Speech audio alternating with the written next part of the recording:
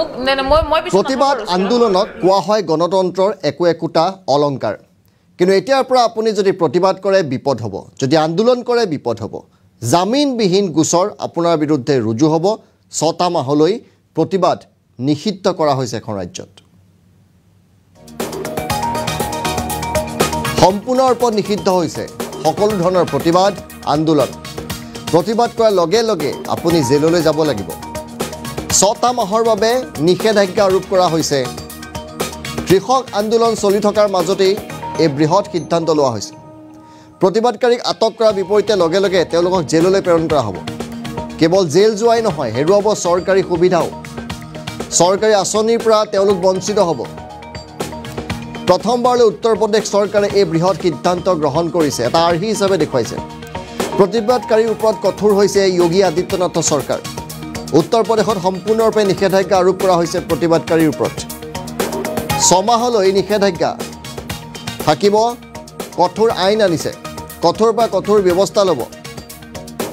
আপুনি চৰকাৰী সুবিধা নাপাব এতিয়াৰ পৰা আন্দোলন কৰিলে। আন্দোলন কৰাৰ লগে লগে জামিনবিহীন গোচৰত আপুনি জেললৈ যাব লাগিব। কৃষক আন্দোলন চলি থকাৰ সময়তে যোগী আদিত্যনাথে উত্তৰ প্ৰদেশত বলবৎ কৰিছে এই কঠোৰ আইন। আৰু ইয়াকে লৈ এতিয়া সৰব চৰ্চা চলিছে? ৰাষ্ট্ৰীয় সংবাদ মাধ্যমত এই বাতৰি ইতিমধ্যেই বৰ বৰ হৰফৰে প্ৰকাশ কৰা হৈছে। হয়তো উত্তৰ প্ৰদেশে আৰ্হি দেখুৱালে। ইয়াৰ পিছত এখন এখনকৈ ৰাজ্যই হয়তো এই নিয়ম প্ৰৱৰ্তন কৰিব। আন্দোলন প্ৰতিবাদ কৰি আপুনি জেল যাব লাগিব এতিয়াৰ পৰা। আনকি আপুনি যদি চৰকাৰী কিবা সুবিধা পাই আছে সেই সুবিধাৰ পৰা আপুনি বঞ্চিত হ'ব। হয়তো ৰেচন কাৰ্ডখন আপুনি নাপাব। অন্যান্য যিসমূহ চৰকাৰী সুবিধা আপুনি পাই আছে সেই সুবিধাসমূহ নাপাব যদি আপুনি আন্দোলনত ভাগ লয় যদি আপুনি প্ৰতিবাদত অংশগ্ৰহণ কৰে। আৰু এই মুহূৰ্তত আমি পোনে পোনে সংযোগ স্থাপন কৰিছোঁ সতীৰ্থ ময়ূৰ চৌধুৰীৰ সৈতে। ময়ূৰী আপোনাৰ হাতত কি তথ্য আছে? হৰিদুস্মিন শৰ্মা উত্তৰ প্ৰদেশ চৰকাৰে পোন প্ৰথমবাৰৰ বাবে প্ৰতিবাদকাৰীৰ বিৰুদ্ধে কঠোৰ হৈ পৰা পৰিলক্ষিত হৈছে আৰু যদি প্ৰতিবাদ কৰে তেতিয়াহ'লে বিপদৰ সন্মুখীন হ'ব চৰকাৰী আঁচনিৰ সুবিধাসমূহ লাভ নকৰিব বুলি জনোৱা হৈছে। যিহেতু উত্তৰ প্ৰদেশ হৈছে প্ৰথমখন ৰাজ্য। প্ৰতিবাদ প্ৰতিবাদৰ ওপৰত নিষেধাজ্ঞা আৰোপ কৰা হৈছে। আৰু ৰাষ্ট্ৰীয় সংবাদ মাধ্যমত কি খবৰ সম্প্ৰচাৰিত হৈছে আমি প্ৰথমতে আপোনালোকক সেই খবৰ দেখুৱাবলৈ চেষ্টা কৰিছোঁ। আজতকে খবৰ সম্প্ৰচাৰিত কৰিছে ইয়াত প্ৰথমতে লিখিছে বিনা ৱাৰেণ্ট গ্ৰেপ্তাৰ। কোনো ধৰণৰ ৱাৰেণ্ট নোহোৱাকৈ যদি প্ৰতিবাদ কৰে প্ৰতিবাদকাৰীক কিন্তু এৰেষ্ট কৰা হ'ব বুলি ইয়াত উল্লেখ কৰিছে। তাৰ পাছত লিখিছে হৰতাল পাৰ ৰোগ। এতিয়া অৰ্থাৎ হৰ- হৰতালৰ ওপৰত নিষেধাজ্ঞা আৰোপ কৰা হৈছে।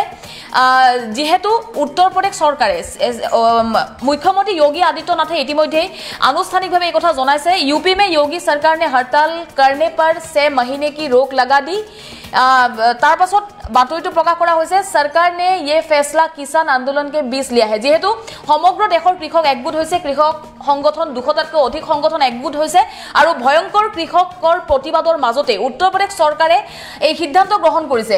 ইয়ে বেহদ সख्त কানুন হে বুলি ইয়াত উল্লেখ কৰিছে। পিছলে সাল ভি যোগী চৰকাৰ কানুন কো লাগু কৰ দিয়া থা। বিগত বৰ্ষতো যোগী চৰকাৰে এই নীতি আনিছিল আৰু এইবাৰ ছমাহৰ বাবে কোনো প্ৰতিবাদকাৰীয়ে প্ৰতিবাদ কৰিব নোৱাৰিব। যদিহে কোনো প্ৰতিবাদকাৰীয়ে প্ৰতিবাদ কৰে। তেতিয়াহ'লে কিন্তু তেওঁলোকৰ বিপদ হ'ব বিনা ৱাৰেণ্ট এৰেষ্ট হ'ব বুলি ইয়াত উল্লেখ কৰা হৈছে। কোনো ধৰণৰ চৰকাৰী আঁচনিৰ সুবিধা নাপাব। এক প্ৰকাৰে চৰকাৰী আঁচনিৰ প্ৰতিখন আঁচনিৰ পৰা বঞ্চিত হ'ব।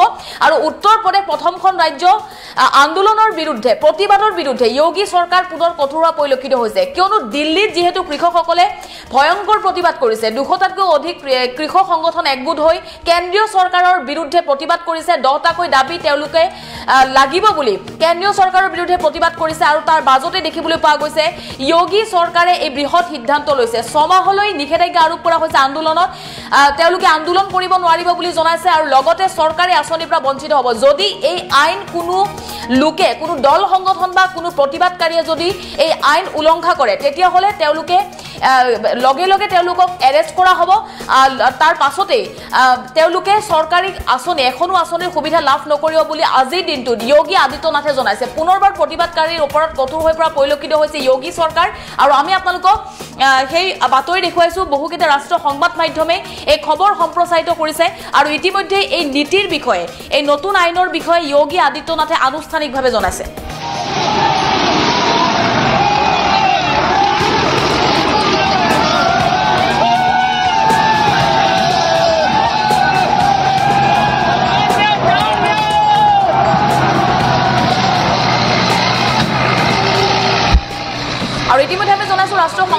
খবৰসমূহ সম্প্ৰচাৰিত কৰিছে আৰু য়োগী আদিত্যনাথে প্ৰতিবাদকাৰীৰ বিৰুদ্ধে কঠোৰ হৈ পৰা পৰিলক্ষিত হৈছে। এনে আইন হয়তো আন ৰাজ্যতো অতি শীঘ্ৰেই বলবৎ হ'ব পাৰে কিয়নো প্ৰতিবাদকাৰীৰ বিৰুদ্ধে অসম চৰকাৰো বিভিন্ন সময়ত কঠোৰ হৈ পৰা পৰিলক্ষিত হৈছে।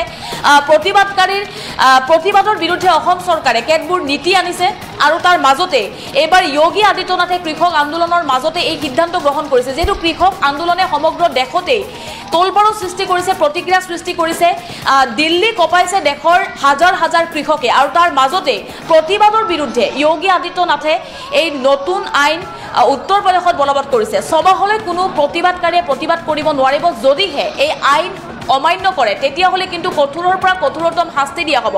লগে লগে কোনো ধৰণৰ ৱাৰেণ্ট নোহোৱাকৈ তেওঁলোকক গ্ৰেপ্তাৰ কৰা হ'ব। ইয়াৰ লগতে তেওঁলোকে সকলো চৰকাৰী আঁচনিৰ পৰা বঞ্চিত হ'ব তেওঁলোকে জেলত থাকিব লাগিব। কেতিয়ালৈ জেলত থাকিব লাগে সেয়া কোনো নিশ্চয়তা নাই তেওঁলোকে জেলত থাকিব লাগিব প্ৰতিবাদ কৰিলে বিপদ হ'ব আৰু এই আইন কঠোৰভাৱে উত্তৰ প্ৰদেশত প্ৰযোজ্য হ'ব বুলি য়োগী আদিত্যনাথে জনাইছে। আৰু উত্তৰ প্ৰদেশ প্ৰশাসনো সষ্টম হৈ পৰিছে যদি কোনো লোকে প্ৰতিবাদ কৰে। তেওঁলোকক লগে লগে এৰেষ্ট কৰা হ'ব বুলি ইতিমধ্যে য়োগী আদিত্যনাথে জনাইছে। আমি দেখুৱাইছোঁ সেই খবৰ। যিহেতু কৃষক আন্দোলনে সমগ্ৰ দেশতে ভয়ংকৰ ৰূপ লৈছে। আমি কৃষক আন্দোলনৰ কেতবোৰ দৃশ্য আপোনালোকক দেখুৱাইছোঁ।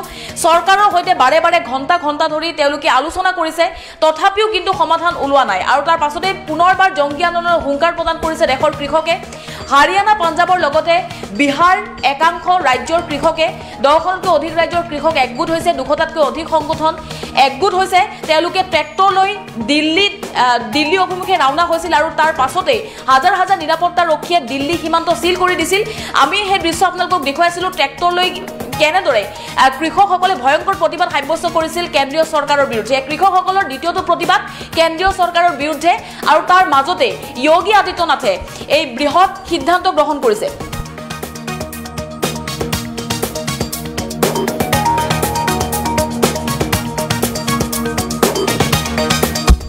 আৰু আমি আপোনালোকক সেই খবৰ জনাইছো সম্পূৰ্ণ ৰূপত নিষিদ্ধ হৈছে প্ৰতিবাদ আন্দোলন। প্ৰতিবাদ আন্দোলনৰ বিৰুদ্ধে কঠোৰ হৈ পৰিছে। প্ৰতিবাদ কৰাৰ লগে লগে আপুনি জেললৈ যাব লাগিব।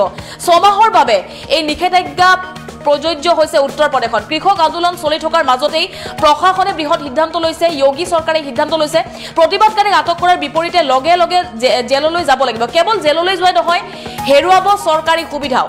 চৰকাৰী সুবিধা আপুনি হেৰুৱাব চৰকাৰী আঁচনি প্ৰাপ্যৰ পৰা আপুনি বঞ্চিত হ'ব। যদি উত্তৰ প্ৰদেশৰ যিসকল লোকে যদি চৰকাৰী তেওঁলোকৰ তেওঁলোকে হিতাধিকাৰী তেতিয়াহ'লে প্ৰতিবাদলৈ যোৱাৰ পূৰ্বে তেওঁলোকে এশবাৰ চিন্তা কৰিব লাগিব।